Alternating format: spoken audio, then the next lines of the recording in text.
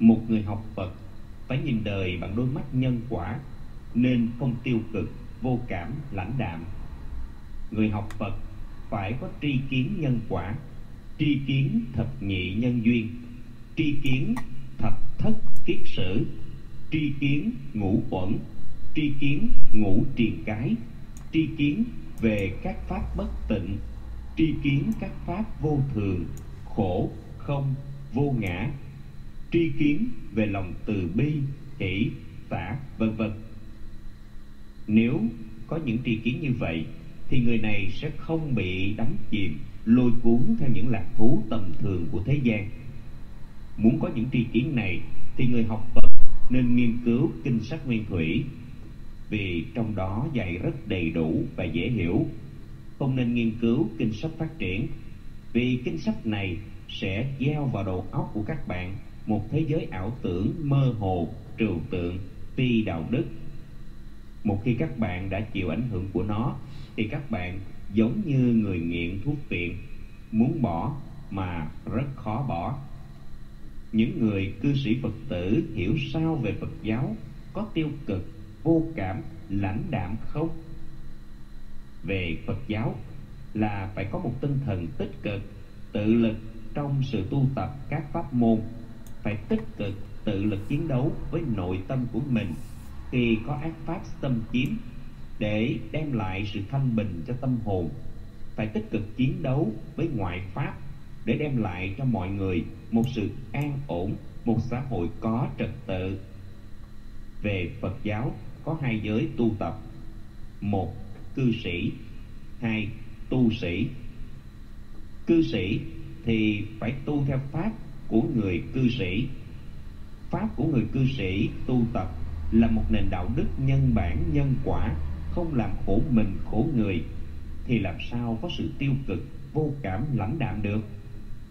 Nếu tiêu cực, vô cảm, lãnh đạm là làm khổ mình, khổ người, thì đâu có đúng chánh pháp?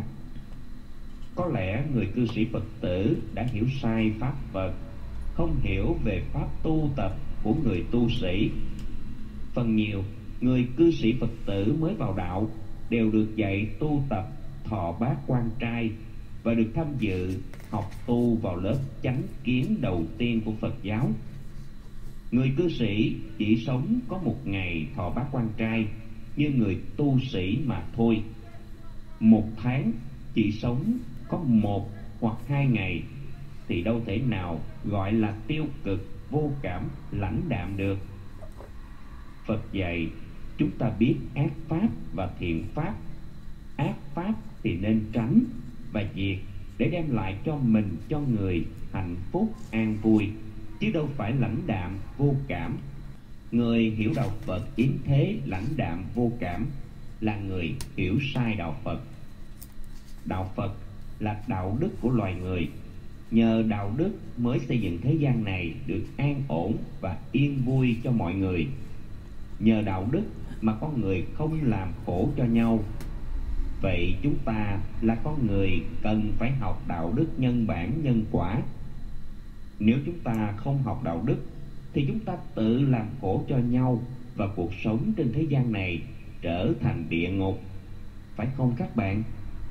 Bằng chứng hiện giờ, chúng ta đã chứng kiến cảnh địa ngục, chiến tranh khủng bố, thiên tai hỏa hoạn, bão tố, động đất sóng thần, lũ lụt, vân vân.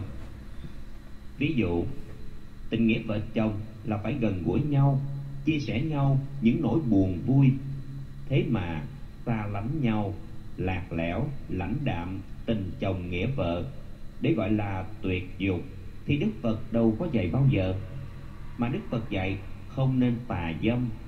Dâm dục phải tiết độ, vì tà dâm là làm hại gia đình mất hạnh phúc. Dâm dục không tiết độ sẽ đem đến thân bệnh tật. Mà thân bệnh tật đau khổ thì sự an vui, hạnh phúc gia đình mất. Đạo phật nói, đời khổ là để vượt qua mọi sự đau khổ của cuộc đời. Chứ không có nghĩa là trốn tránh khổ. Nói cách khác cho đúng nghĩa của đạo phật là làm cho đời hết khổ. Làm cho đời hết khổ là phải tích cực hết mình. Vì thế mà đạo đức của đạo phật là đạo đức không làm khổ mình, khổ người.